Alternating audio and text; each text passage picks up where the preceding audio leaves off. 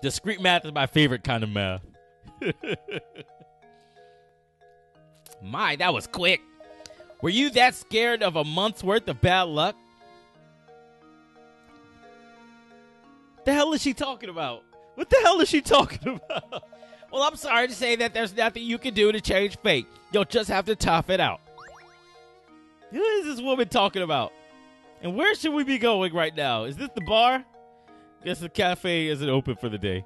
We need some hit coins. Give me some hit. There we go. There's, there's what? One more, maybe? That's pushing it. Oh, I don't want to talk to Agnes anymore. I have no idea what the hell she's talking about.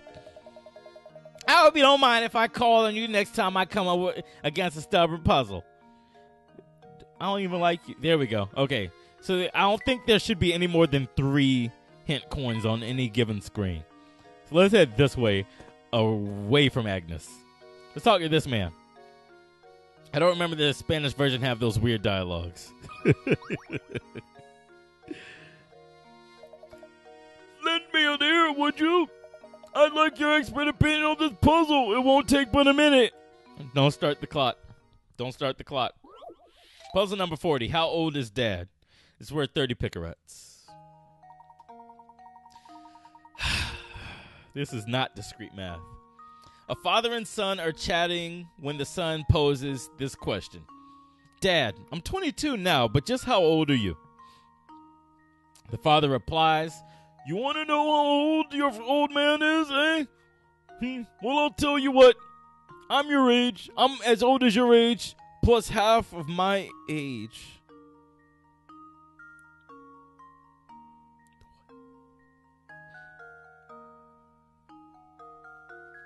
I'm as old as your age,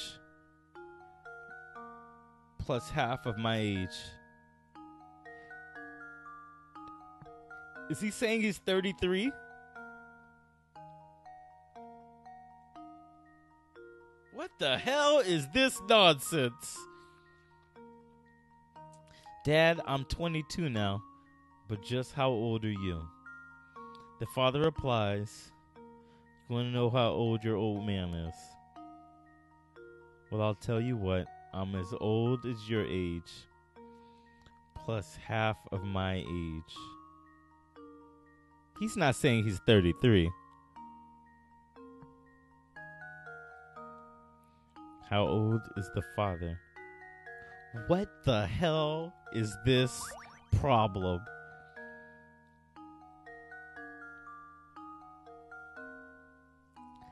I'm as old as your age.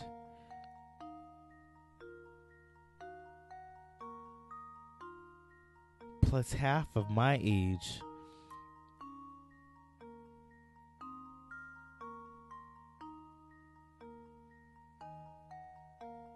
Hey Carlos, if you ever want to give a hit, now's the time. oh my god. Let me see. Dad, I'm 22 now, but just how old are you? I'm as old as your age, plus half of my age.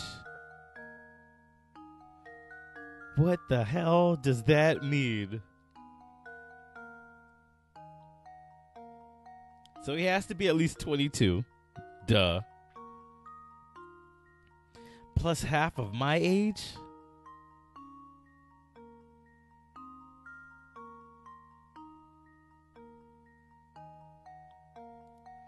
Don't even know what that could mean. Like in in in math terms. Where'd all my pens go? Okay. The son is 22. The father is as old as his age, as as as old as the son's age, plus half of his age. He's as old as 22. He's as old as the son, plus some imaginary number. The son is 22, and the father is as old as the son, plus half of this, plus half of my age.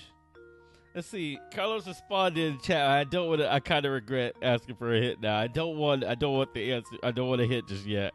I can't have. Don't retract it. But I. I, I want to. I want to look at this a little bit more. Dad, I'm 22 now. But just how old are you? You want to know how old your old man is? I'm as old as your age plus half of my age. You know, I think if my father were to tell me something like that, I'd probably stop talking to him. I wouldn't talk to him anymore.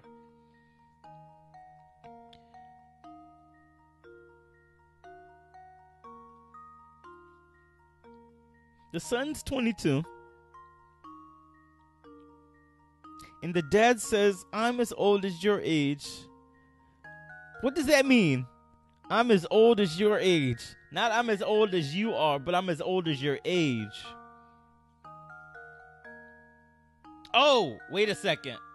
Wait a second. Wait a second. I think I, I think I can evaluate this one now.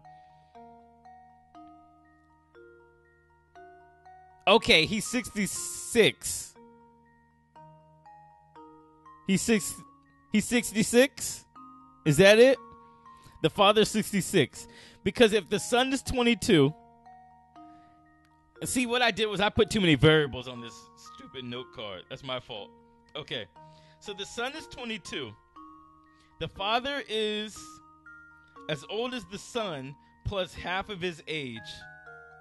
That's in, yeah, that's entirely my fault. I messed that one up. So half of the father's age plus the son's age equals the father's age. If the son's 22, and we solve this for f,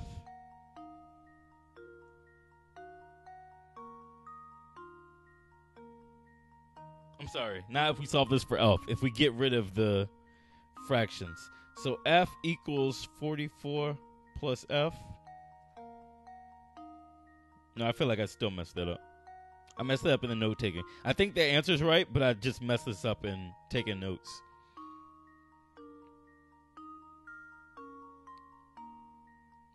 Yeah, because you can't. I'm not supposed to. I actually was supposed to introduce a third variable, x. Okay. So then f would be 0. And then we. Uh,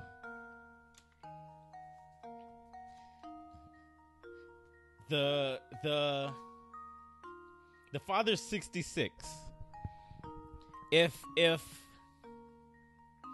if the father is as old as his age as the son's age plus half of the father's age then you would have the father's age cut in half plus the son's age.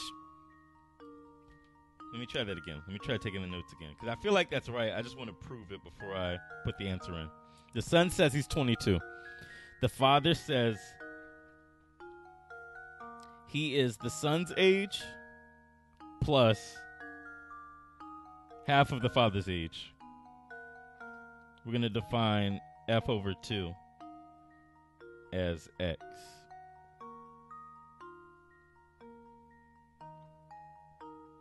So if we take the son's age from the father, from the father's age, then we would be left with half of the father's age. We need to multiply that both sides by 2. 2f 2f minus 44 equals f.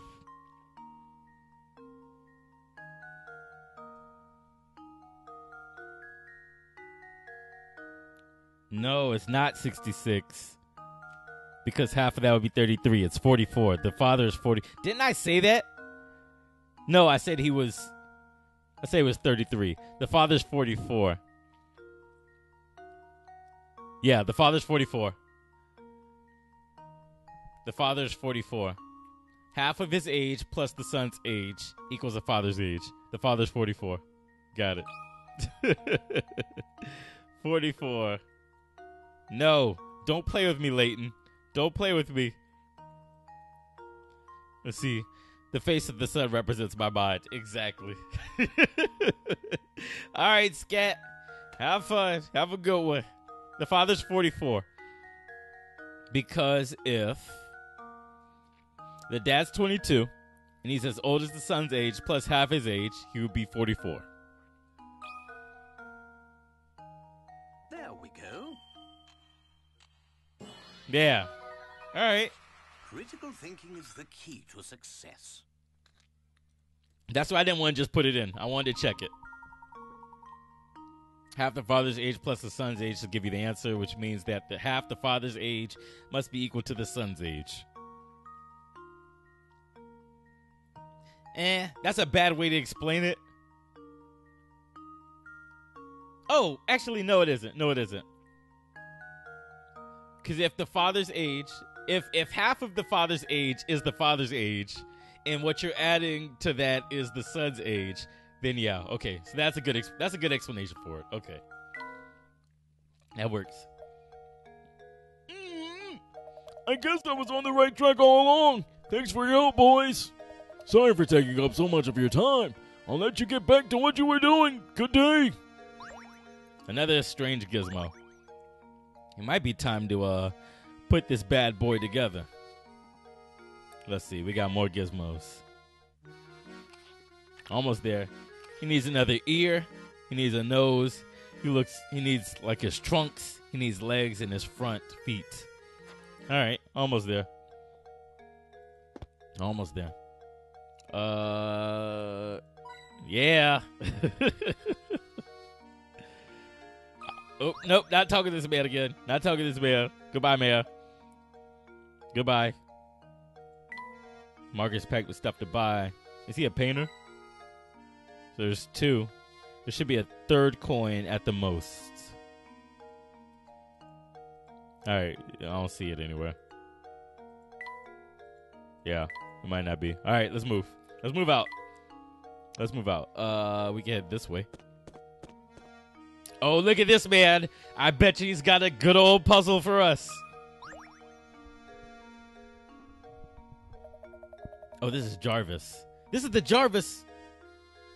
Were we looking for Jarvis? Or did someone else talk about Jarvis? Let me tell you, lately St. Mystere has become a dangerous place. Case in point, I haven't seen Ramon since yesterday. Isn't that rascal missing or something?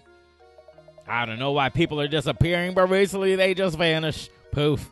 You can't walk the streets alone. Really?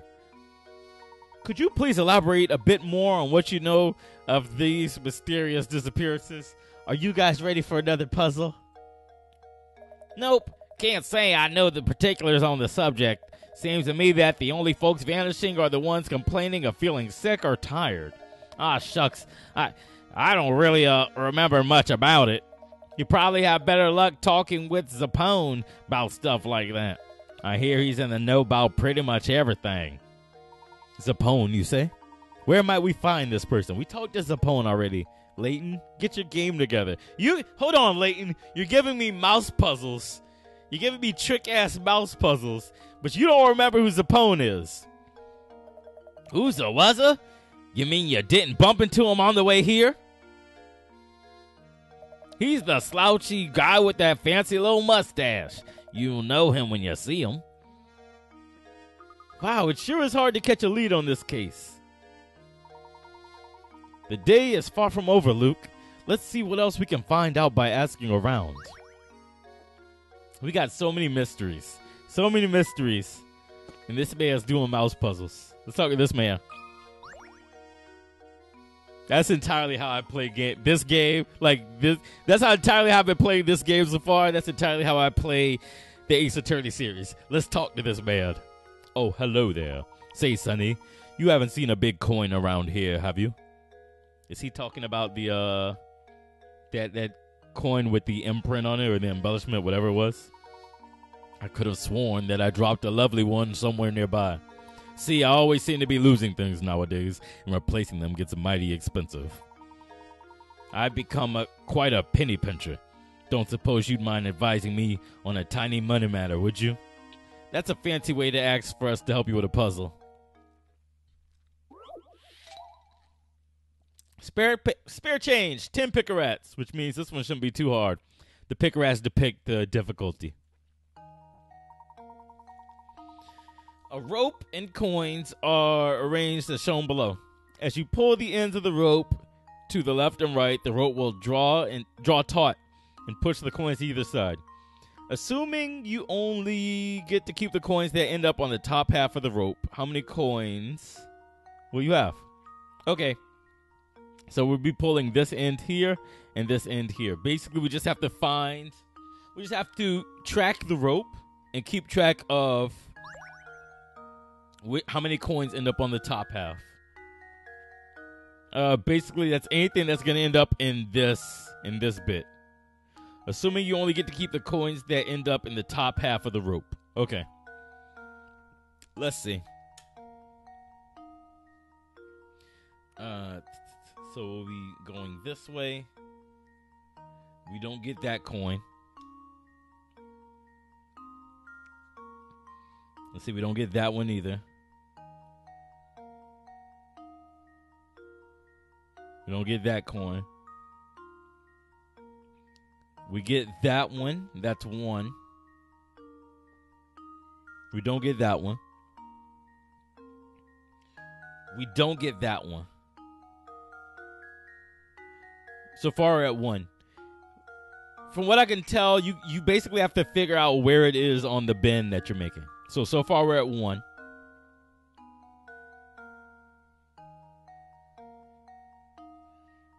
We don't get that one.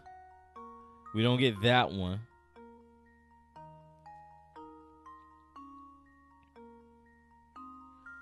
We don't get that one. It's now on the inside. We don't get that one.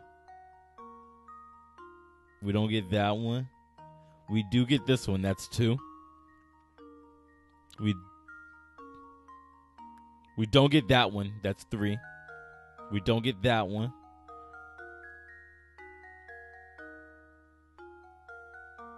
We do get the one on the left of the mouse right now, but we don't get the one on the right. I'm sorry.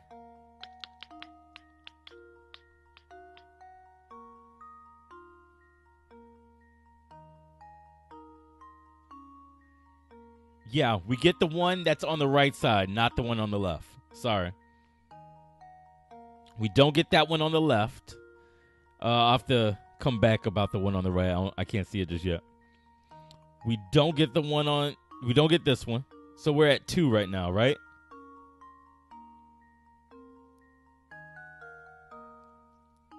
We don't get this one. We don't get.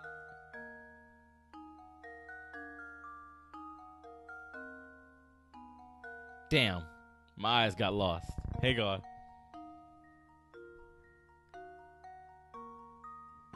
Got my glasses. Let me see.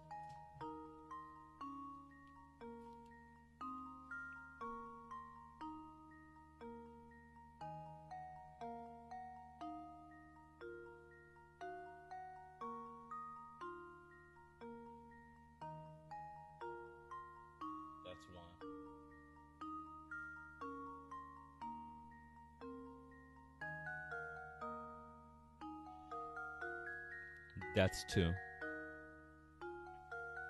We get that one, that's three. Four.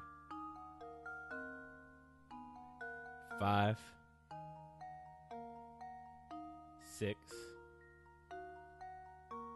Seven.